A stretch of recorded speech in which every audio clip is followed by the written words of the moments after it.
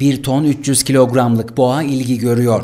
Merkeze bağlı Yoğun Pelit köyünde hayvancılık yapan Müslüm Seyis, çiftliğinde yetiştirdiği ve Altınbaş ismini verdiği simental cinsi boğayı kurbanlık pazarında 40 bin liradan satışa sundu.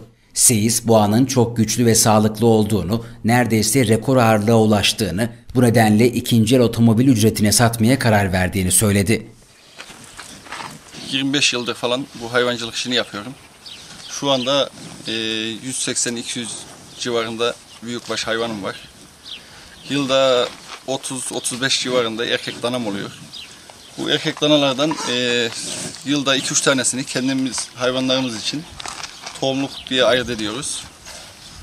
Bunların içinde de işte 2 yaşına doldurduğu zaman 450-500-550 civarlarında kasaba kesim yaptırıyoruz. Bu dana e, kesim yaptırmayı tercih etmedik. Çok iyi gelişmesinden dolayı Kurban Bayramı'na bekletmek istedik. Şu anda dananın ağırlığı 1 ton 300 kilo. Kendi e, damızlık hayvanlarımızdan olan bir dana. 40 bin lira e, fiyat değer biçiyoruz. Şimdiden alıcısına hayırlı olsun.